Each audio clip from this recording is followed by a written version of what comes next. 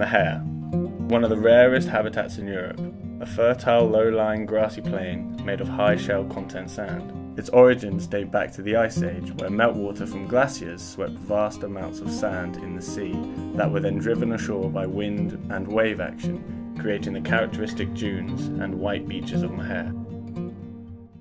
My name is Jamie Boyle and I'm a site manager for the Royal Site Protection of Birds. The reserve was set up as a research and survey area and that's what it's been achieving for the last 50 years. Um, ultimately we want to carry on doing the research and survey work and to help bring wildlife into the crofting system and help it sort of coexist with the crofting system. But it's not only wildlife that relies on the mechare. In fact, people living in the habitat have been using the fertile land to grow crops and as a grazing area for cattle and sheep.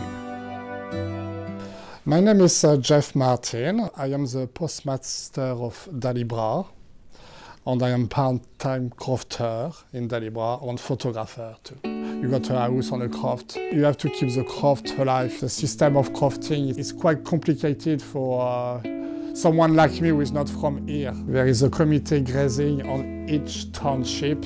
So this is, uh, we, we are linked to Daliburgh, Common Grazing Committee, where uh, it's uh, us as crofter that we have, uh, we have to manage together the use of the common grazing. The Machair LIFE project was set up um, looking at crofting and looking at the problems that crofting have, particularly viability and um, changes from sort of traditional farming and you know looking at the effects that was having and it was, uh, it was sort of set up to try and mitigate against the effects of that and bring in system or a way the crofters could work the area roughly following traditional farming and enabling sort of them, you know, to have a profitable business. There was various elements to maca life. We did a four-year research and looking at the different techniques that are used in the maca because although it, it's generally follows a sort of traditional form of farming, there's quite a few variations to that. It looked at these variations and to see which were the, the richest for wildlife, which were the easiest for crofters to do, and looked at machinery and the new machinery we could use. It was great, and it also sort of highlighted the machair as well, that brought you know more focus on the machair because it's a habitat that's not actually very widely known. The old-fashioned way of crofting is totally benefit for the wildlife.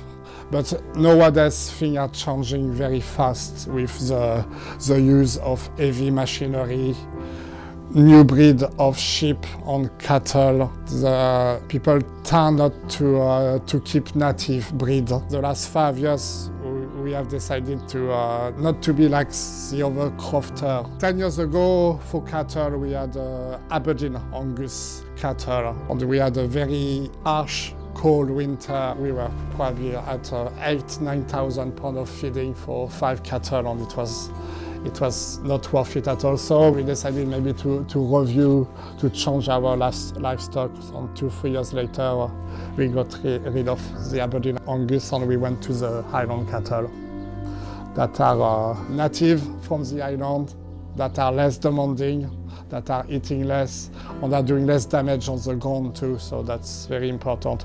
And for sheep, think this is the this is the last year that uh, we are going to have the white sheep here. In September, we decided to buy a small flock of uh, Hebridean black sheep. They are from there, so they can cope any type of weather. They eat less. They just lamb outside.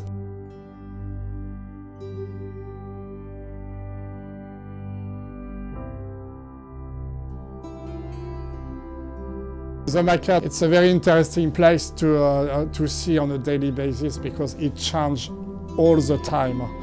Hour by hour, the color change. During the winter, when it's stormy, the sound from the shore is uh, blasting every, everywhere. The way that uh, the environment is changing, you can go any time of the year, you will see something different.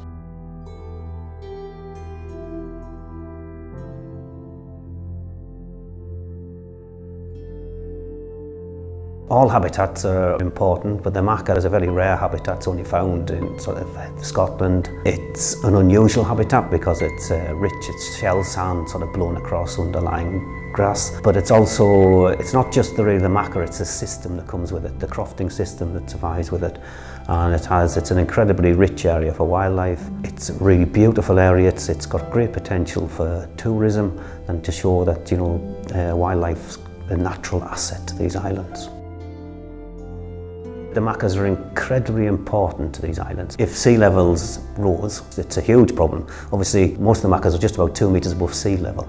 So a slight change in sea level rises and stormy, more stormy weather's coming from the west and places like that, you know, could have a huge influence on what happens out here. It is so fertile that the flora of the area can include up to 45 species in any metre square. This peculiar habitat is home to different wildlife species, which rely entirely on it for their survival. The crowded beaches host redshanks, oystercatchers, and sanderlings. The inhabitants of the rich grasslands can vary from small invertebrates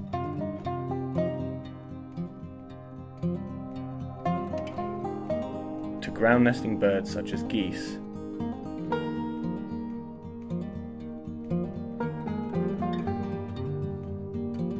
And the endangered lapwing.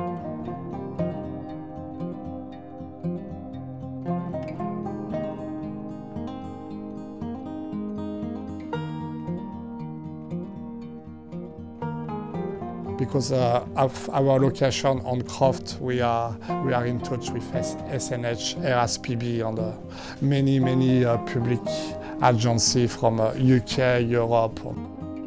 The survey and research work is ongoing and we're constantly uh, changing and developing around the sort of crofting system to see if there's ways that we can work with the crofters. At the moment we're uh, concentrating on using the government agri-environmental schemes. Organisations like the RSPB don't have enough money to um, sort of make huge changes out here. So we try to utilise sort of money that's made available by the government and we try to pressurise the government into recognising the area and that it's worth putting money in and helping sort of uh, the farming and crofting and wildlife on these islands. Machair, a unique habitat that we must protect, a field of hope.